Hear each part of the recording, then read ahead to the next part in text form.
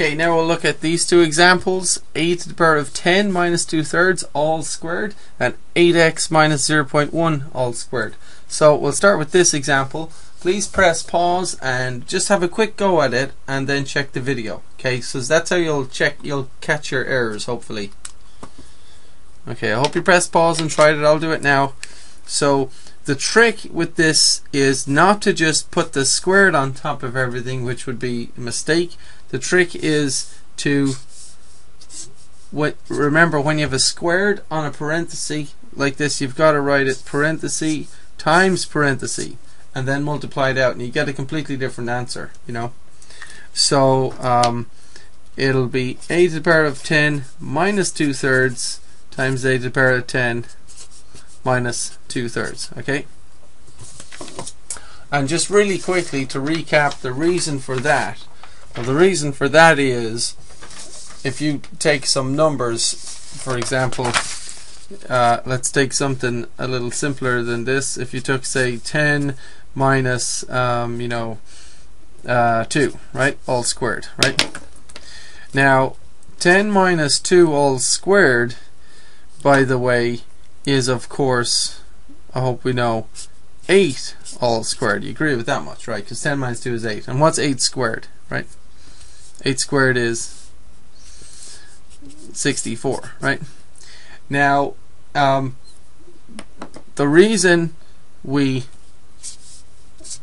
when we're squaring this um, difference here, this these two, this binomial, you write it parenthesis times parenthesis, okay?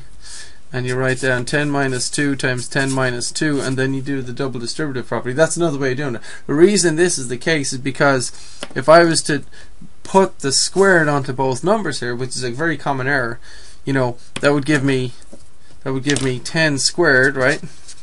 Minus 2 squared, which is what? What's 10 squared?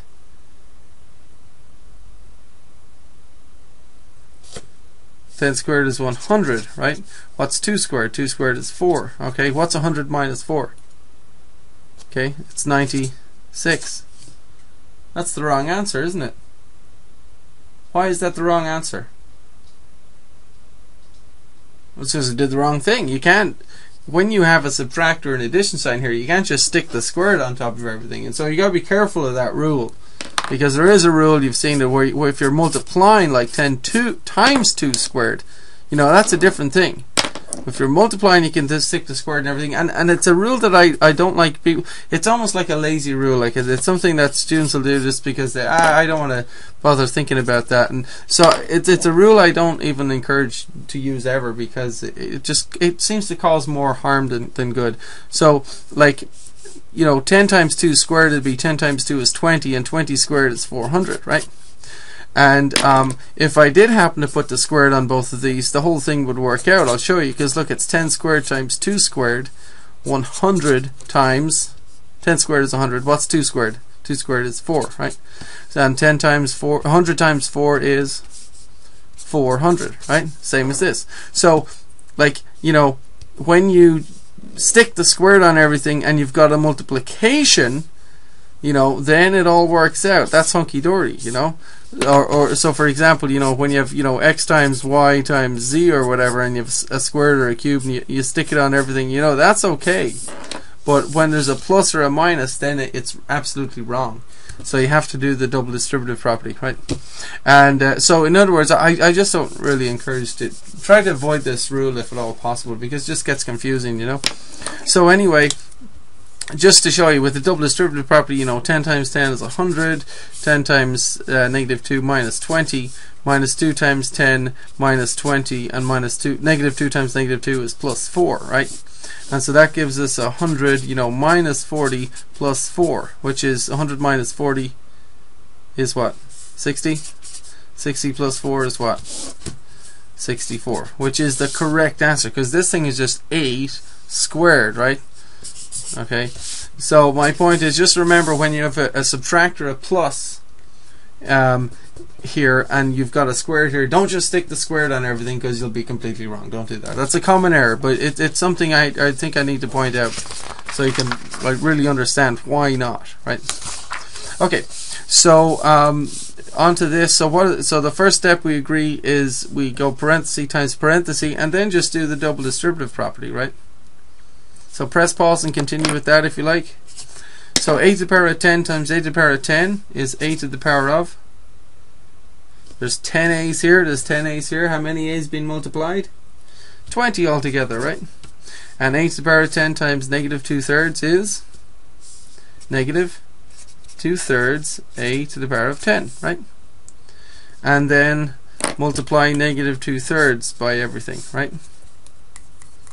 Negative 2 thirds times a to the power of 10 gives you what?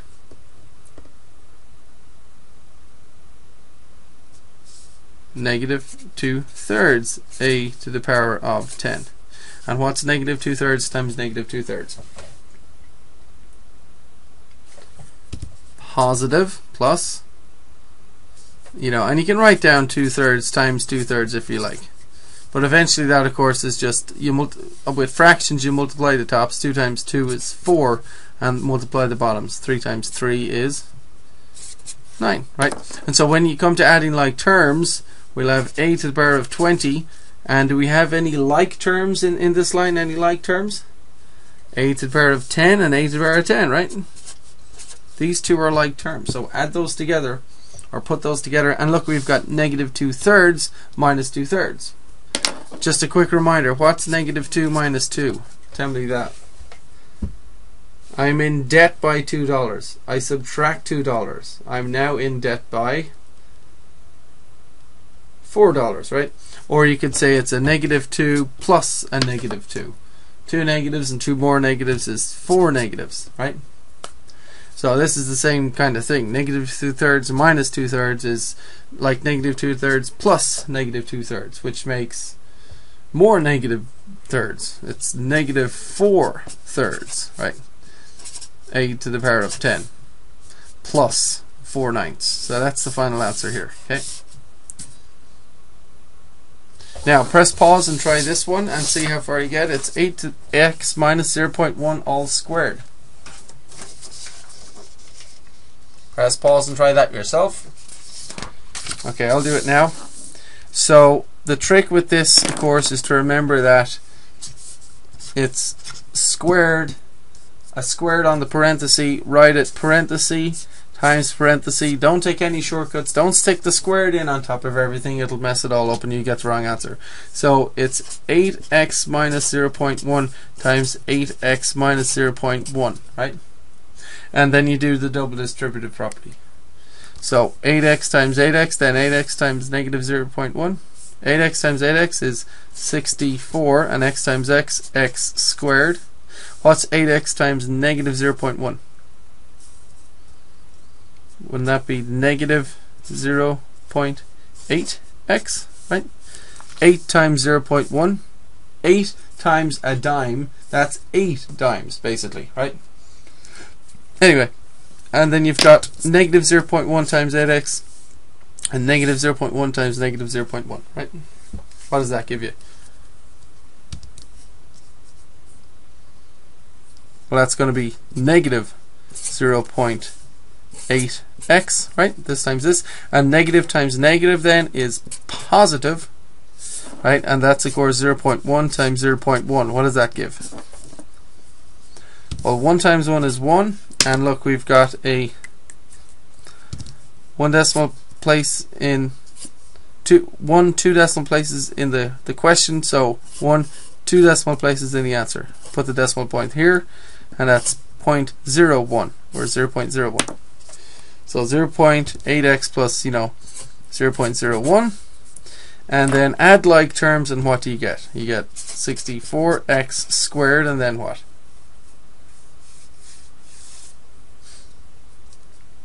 Minus.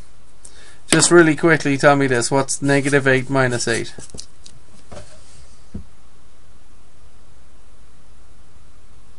Negative 8 minus 8, I'm in debt by $8. I subtract $8, now I'm in debt by 16. Or you could think of it, it's negative 8 plus negative 8, right?